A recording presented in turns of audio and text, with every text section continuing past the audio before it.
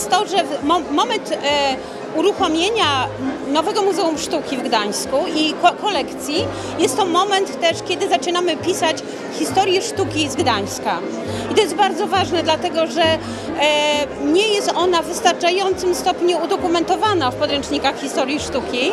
Myślę, że to jest historyczny dzień dla artystów, szczególnie artystów właśnie z Trójmiasta, tutaj wykształconych i tutaj tworzących i tych, którzy stąd wyjechali tworzą na świecie, bo nareszcie jest instytucja, która e, kolekcjonuje sztukę współczesną w zamierzeniu, w celu głównym. E, Jest nią właśnie Nomus, czyli nowe Muzeum Sztuki. O, na razie oddział w budowie, ale już z kolekcją, która powstaje dzięki e, miastu Gdańsk.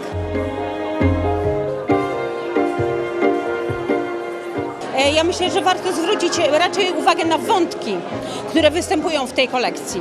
A te wątki to praca, e, to sztuka lat 80. i przełomu lat 90., a więc okresów transformacji.